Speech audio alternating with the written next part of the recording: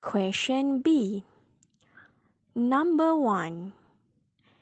He fixes people's teeth. He fixes people's teeth.